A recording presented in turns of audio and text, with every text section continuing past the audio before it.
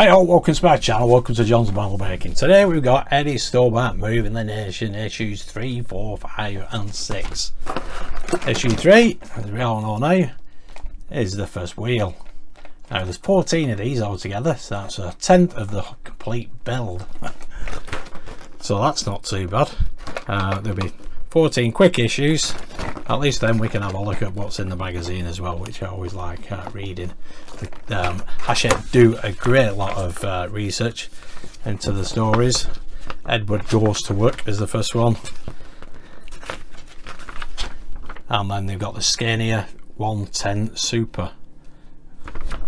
That's brilliant. And then issue 4 the front bumper. But let's do issue 3 first so let's get on with the build. Okay, so let's get the tyre out. Right, there we got the parts. That was some of the noisiest packaging I've ever come across. Uh, here's the tyre. It's got a nice tread on it. The Goodyear name. G291. Lovely job, like it's the same on both sides. So that's great. So we can just pop that in some water. Very hot water. Glug glug and we can then put these two pieces together. So assembling the wheel rims. There go just like that. Lovely job nicely painted as well that. Excellent stuff. And we just need screws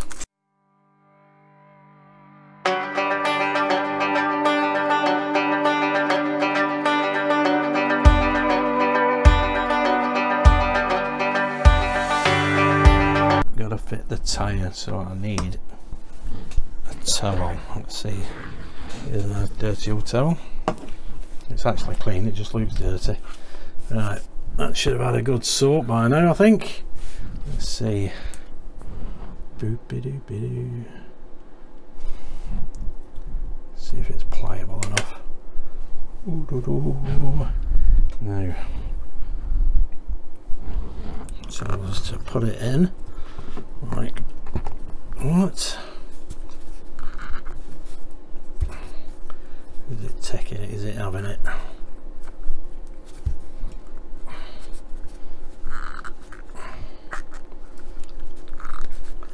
think it is. What's there?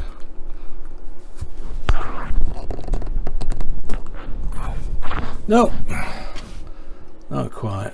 Let's leave it in that hot water a little bit longer. Come back to it in a minute.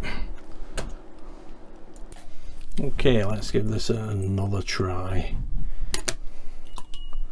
There we go. Quite getting that in. It feels a lot more pliable now. This uh, this rubber, but still, ooh, it's a toughie. Just popping through the other side. It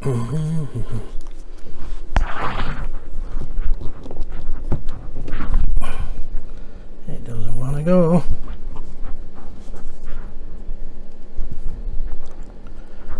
I don't think this is a good year.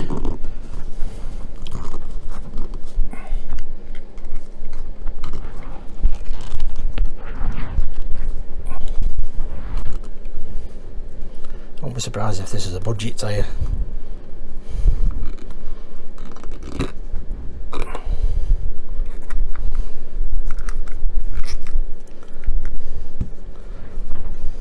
tell it's a budget say it's out of shape.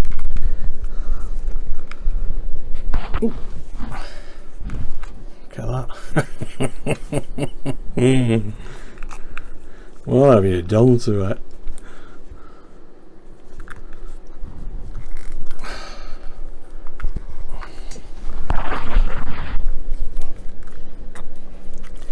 do do do do do do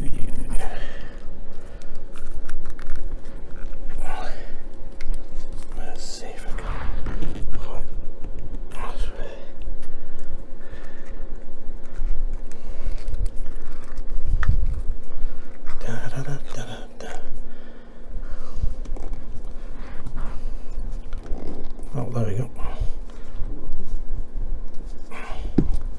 There you go. Time. Excellent.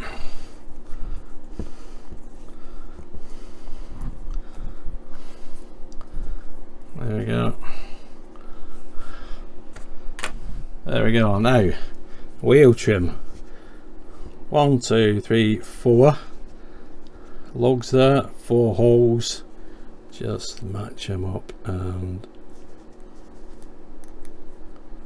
pop into place like that. That's there you go. That's the first wheel.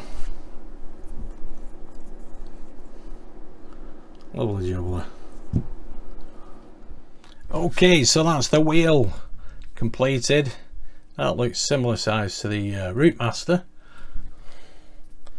Uh, first of 14, which I've already mentioned. So let's have a look at the magazine.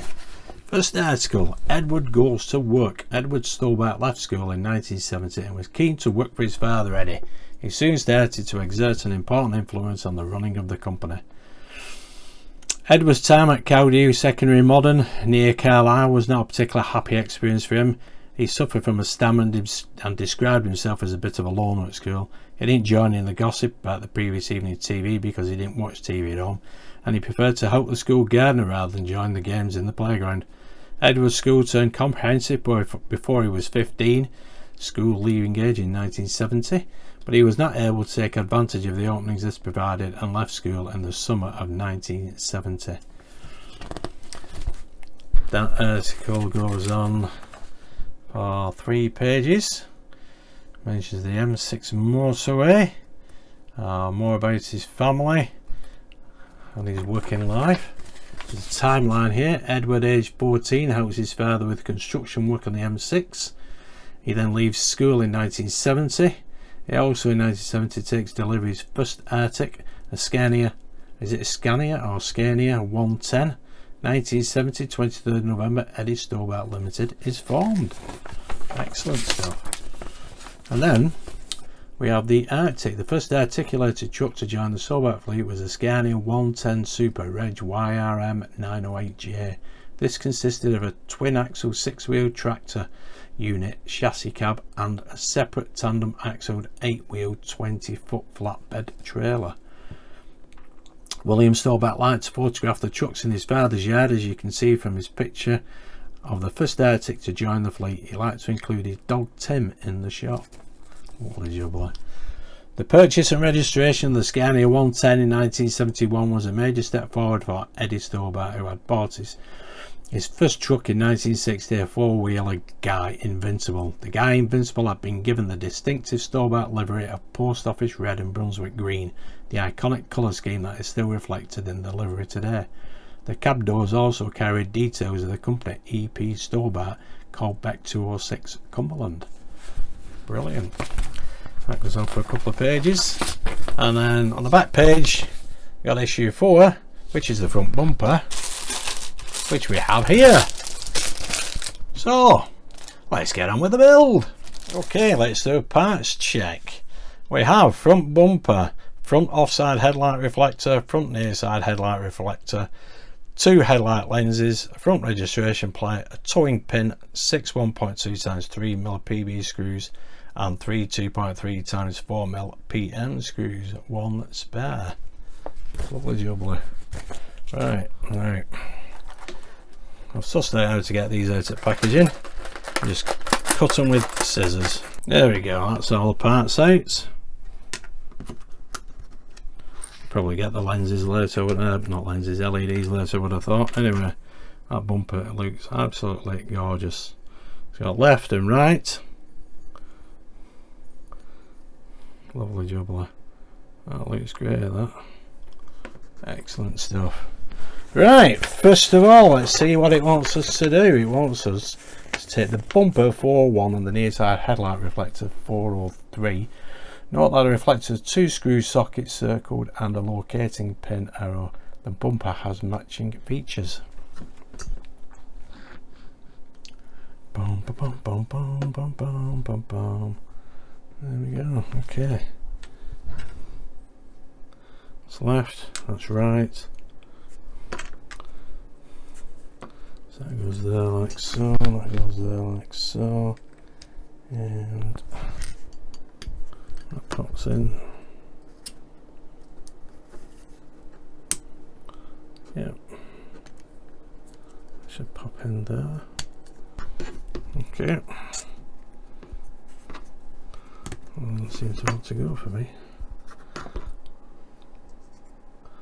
Let's try it that way. Oh, wrong way around.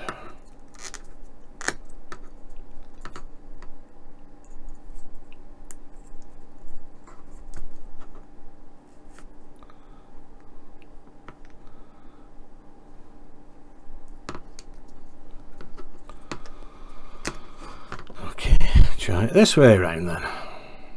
It should go that way around. That is locating hole, that peg. That, right there.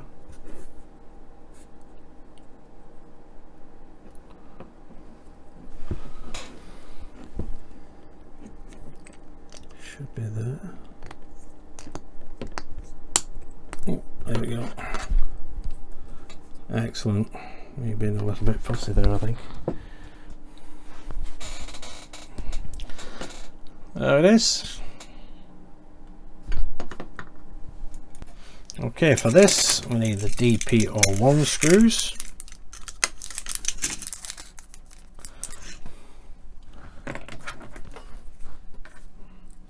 Just need two of these. These are quite narrow screws these.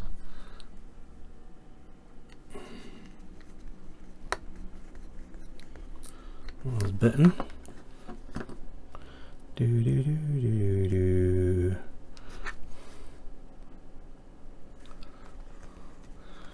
I didn't think that uh, headlight um, cover was going to go in. There we go. That's that. Now we can fix the headlight reflector in place with the two screws and now we need to fit the lenses. Now Take the first headlight lens and fit it into the headlight, headlight reflector.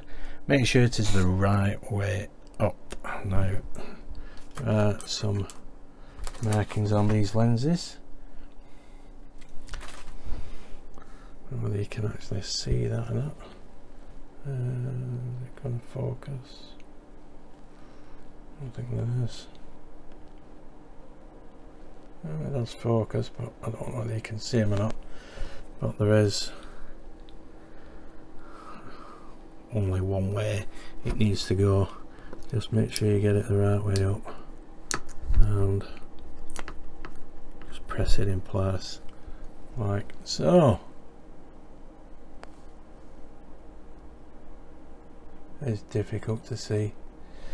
You just have to refer to the um, instructions for that. Now again there's a locating hole there, screw hole there, screw hole, sorry, locating hole there, screw hole there, screw there, and this basically sits in there. Now that one went straight in, the other one was a bit awkward. Typical. Uh, and the camera's lost its focus now. What is going on?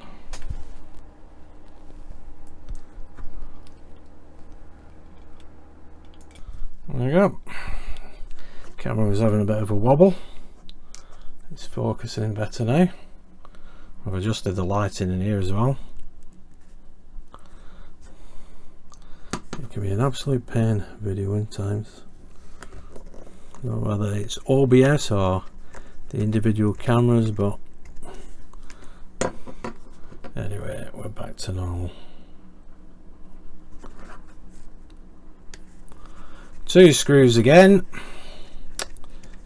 there we go, feel them bite. And there we can put the second lens on. Right, again. You should be able to see which way that lens goes. Let's see if I can show you. There we go. You can see the markings on the lens cover. There we go. Anyway, that's them in place. Okay, now we've got the towing pin, which is shaped like that. And basically this goes through here, keyhole shape there, like so. And we need one of these 1.3 mil PV screws in here.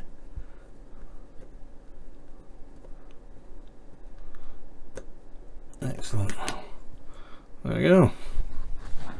Is that in place? And now we can fit the registration plate there with the other screws that we have.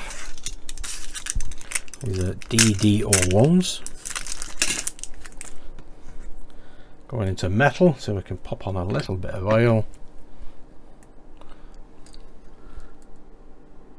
I don't think I've tried any of this build without any oil at the moment. On the screws that is.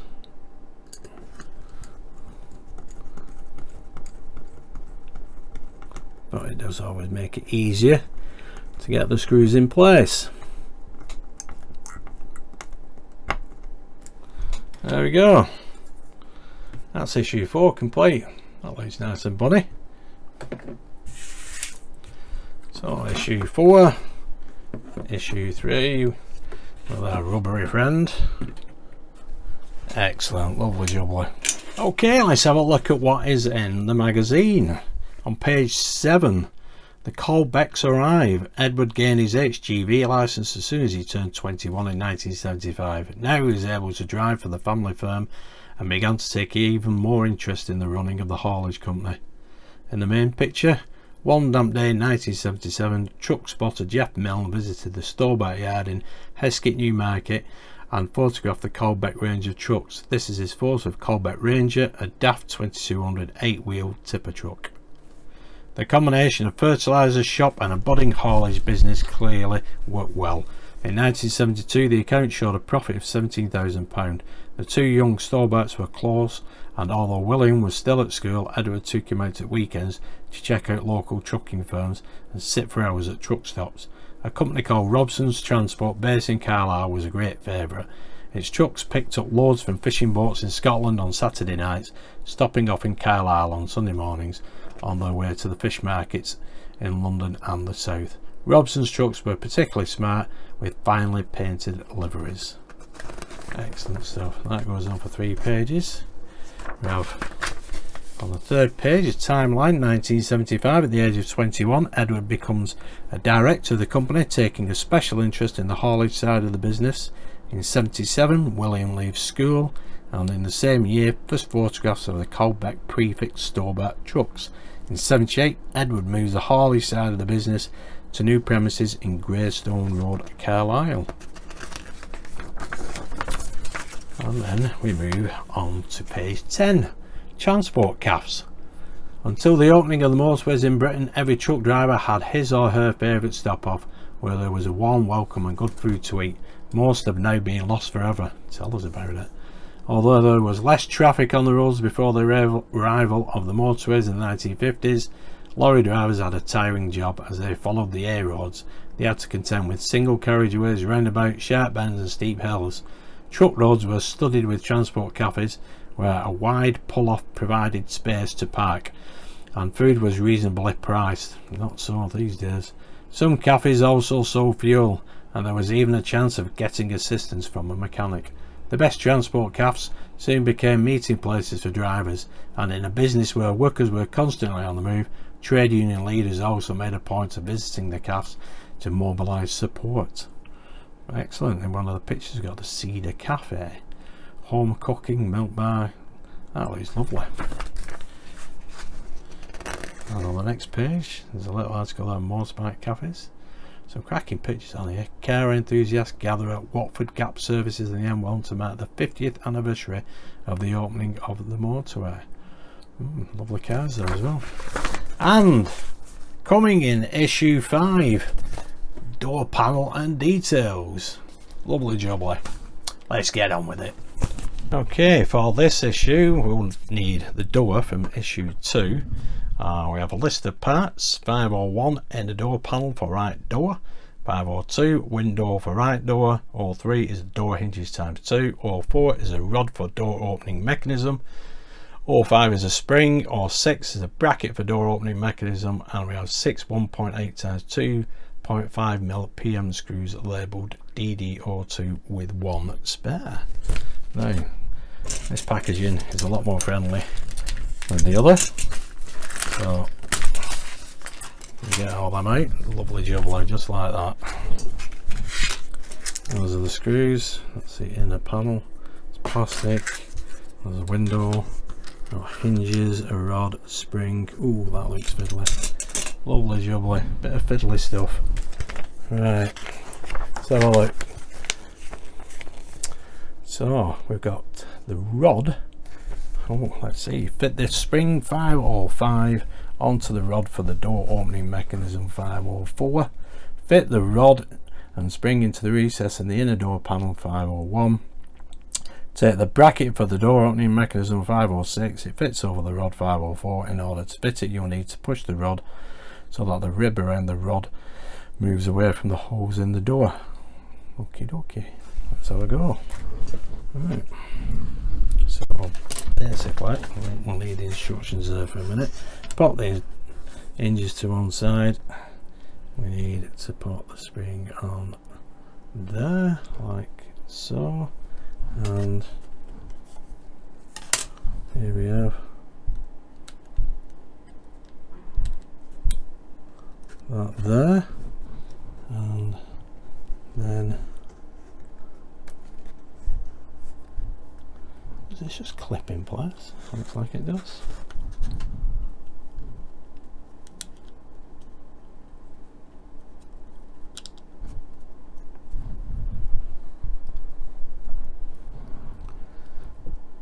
Yep.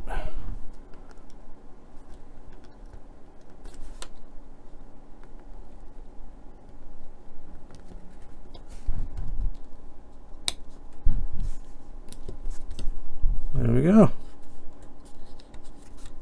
It's Not very springy, mind Not much tension there. but yeah, that clip just sits in there and you clip it under there. But as you can see, it doesn't push the rod back. It's a little bit sad and the spring is free. Yeah. Oh well. Nothing more I can do with that. Got to think about changing the spring but uh, getting that clip out now. Could push it out I suppose. But there we go. That is the first four parts. Okay okay pop that to one side. Now what we need is to fit these hinges on here and here on the door. Um, no. Is it? Do, do, do. it's that way. Yep. Okay okay okay let's get the screws out of the bag this one could have been done earlier really. Seems we got the mirrors already on.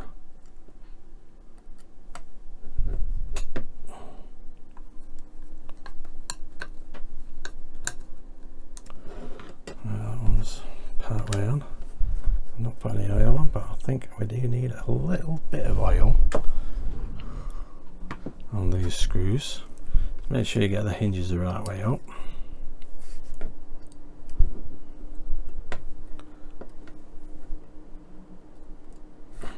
Obviously not laying it flat simply because um, don't want to put any undue pressure on them mirrors so it just makes it a little bit awkward.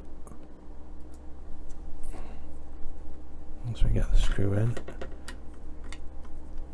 it back will be alright there we go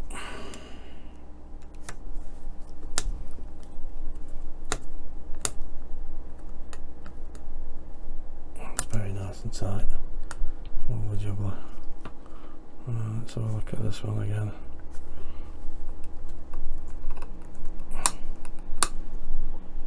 Yeah, that's it, it.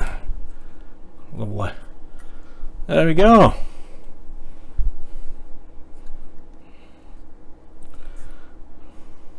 Would have been better without the uh, mirrors in place, but it is what it is. Um, we don't get the parts when we feel as though we need them. Just get them us, don't we? Right, fitting the window and assembling the door. Take the window 502 and check how it fits into the outer door panel. Here we go. Let's see this. Clip there, there. So that will go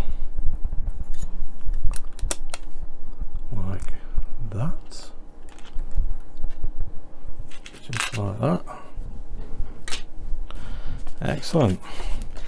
Two raised pegs and now we need to fit the inner door panel over the outer door assembly as indicated with three PM screws. Okay, dokie.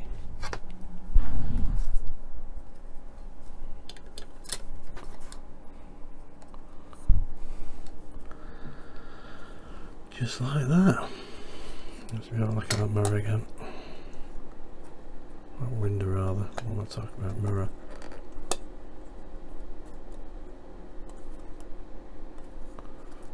Hmm, yeah, just sits there. Might be a little bit loose, I don't really know, but there we go. So one, two, three screws. Okay, okay. Again, I'm going to put a bit of oil on these screws. Trusty cup.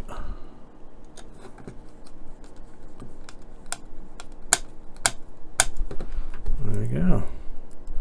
No winder mechanism for this uh, window, which is a, a little bit uh, sad. But at least they don't get scratched by going up and down, as we've seen with other builds.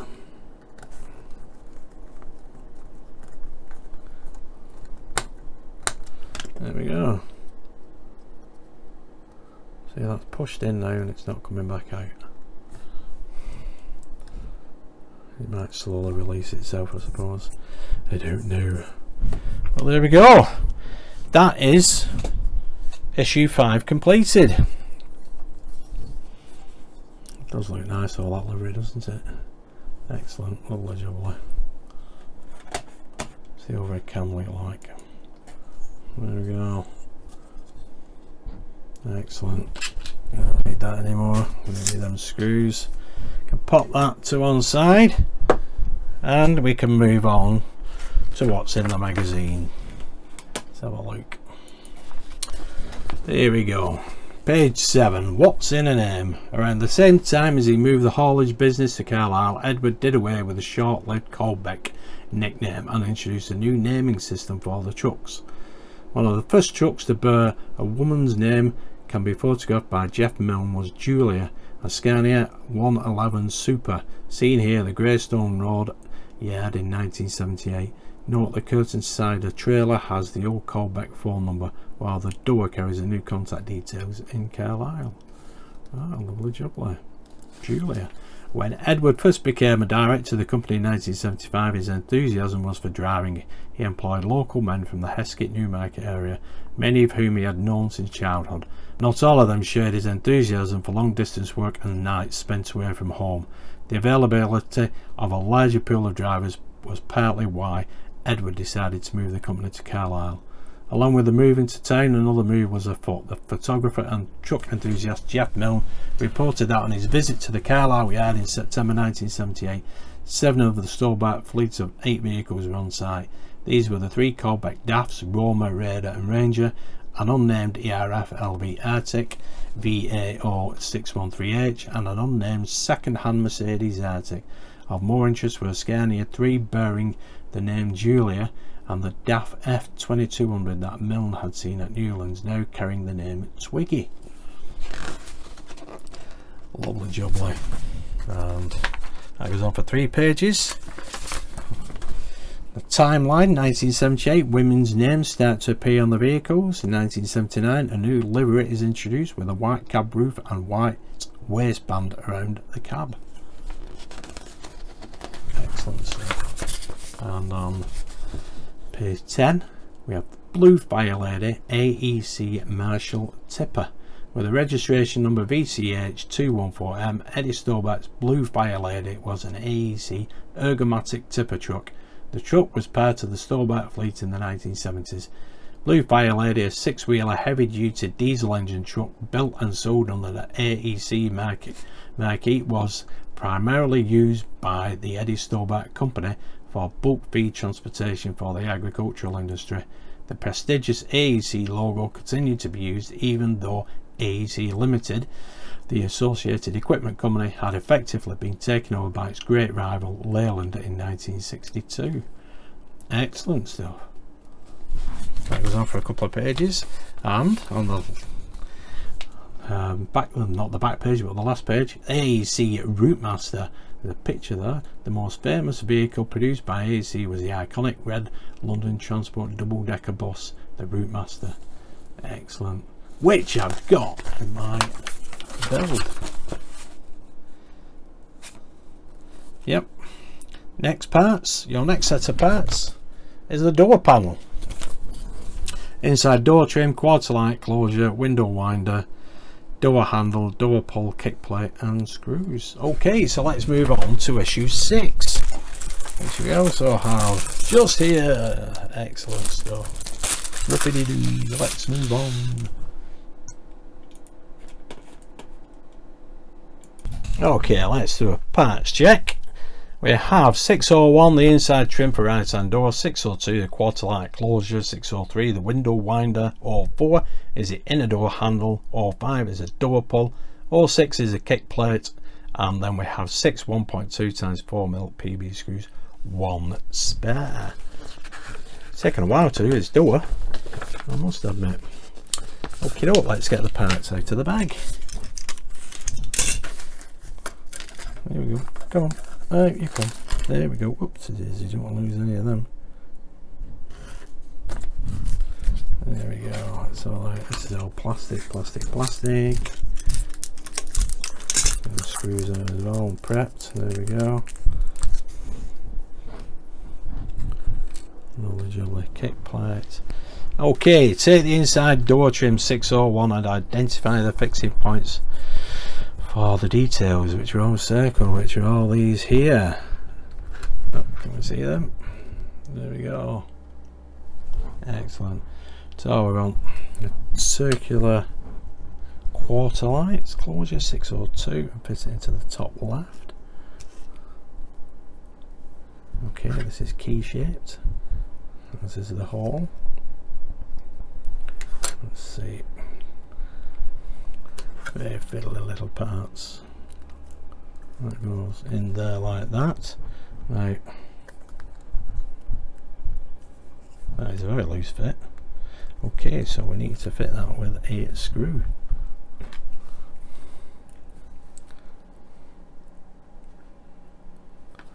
Do do do do do let's see there we go. Okay that all pressed together there we go. That's the first bit of detail. Okay second one is this winder which goes just there. Again look, look at that lovely jubbly. And then we screw that into place. Bum ba dum bum bum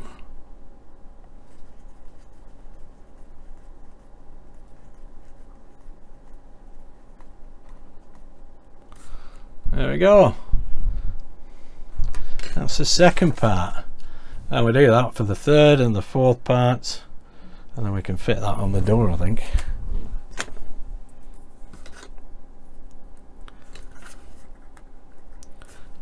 There. Do do do do.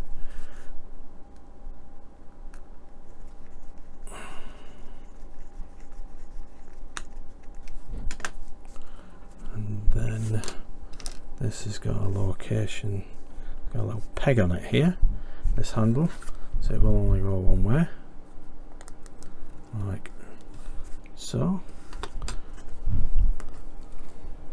This will take a couple of screws. Oops, there's it. At least we're not using glue, I suppose.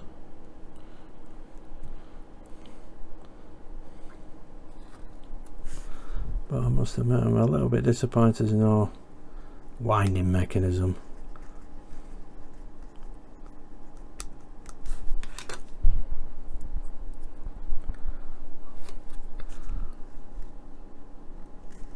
Second screw, there we go. Excellent. That looks pretty nice. Lovely jubbly. Okie doke. Fitting the door trim. Fit the door trim panel 601 onto the inner door panel 501 on the door assembly from the previous issue. Push it firmly into the recess. This is a push fit connection. Okie dokie. Right. You can see where the uh, holes are there for the back of this. So we can just push this into place. Snap, snap, snap. There we go. Brill. Hey. Kick plate must go there. And that again is just a push fit. Let's see. Let's have a look at this. Quick look at this. Yes. Yeah. These tabs, two different sizes, so it will only go one way.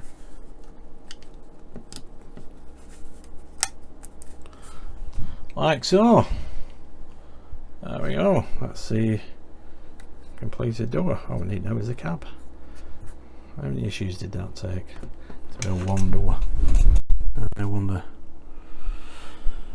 Okay doke well that is the door. Totally finished. Does look nice though must admit. And there's no marks on that plastic window so that's a good thing but these don't operate anything. But it does look good. Let's have a look. At the overhead. There we go. So we have the door front bumper with the registration plate and the tyre. We don't need the screws. Excellent. Lovely jubbly that is issues Three, four, five, and six completed. Let's have a look at the magazine.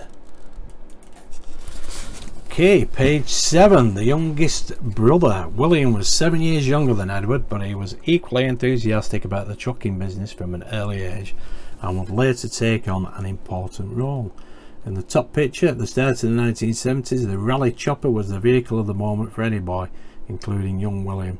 Seen here against the backdrop of the Cumbrian hills, being so much younger than his brothers and sister, he often felt left out, and as they tended to regard him as a spoilt sibling.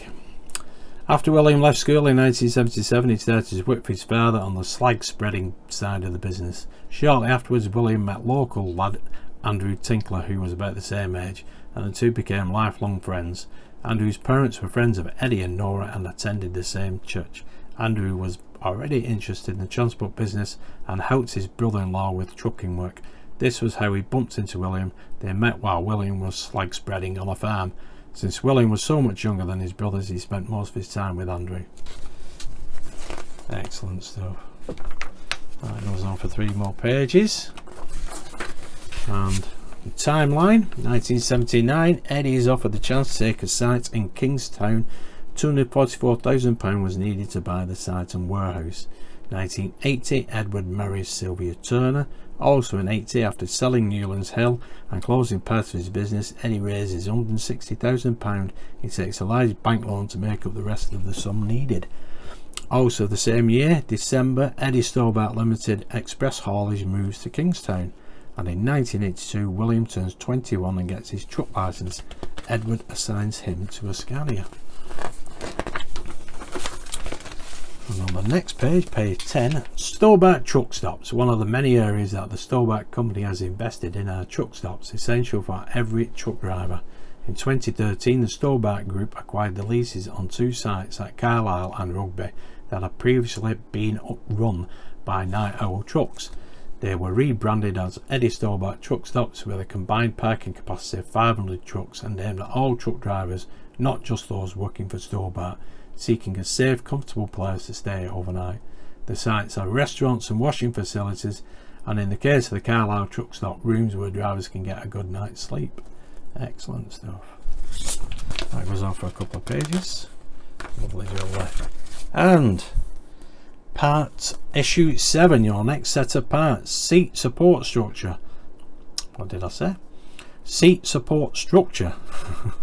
Driver's seat support, rear and front connection plates, front suspension arms, seat holder and frame, adjustment knobs and various screws. Doesn't seem to be a great lot uh, for the next issue but anyway there we go. You can't really see it's uh, pretty look white actually. But there we go that's uh, coming in issue 7 excellent stuff now I always like these magazines I think they're brilliant I think Hachette do a fantastic job they did a great job with the Routemaster the Spitfire and now the Eddie Stobart moving the nation the articles are absolutely fascinating and again uh, it's a collection. I'm not sure if we get any um, binders with this. I've, I've forgotten about that. well, we do it. Oh, we must do because they've got little uh, metal hoops here um, for us to put in a binder. Anyway, if you did like that, give us a big thumbs up, subscribe, hit that notification bell, have a look at all my other videos, and I'll see you next month for the next four set of issues. Thanks for watching. Bye for now.